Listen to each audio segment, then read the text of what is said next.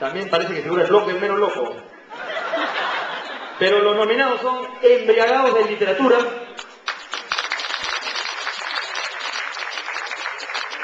Blog Uni, bien ahí, y El Arte de Enseñar. ¿Quién ganó? La Uni, el Blog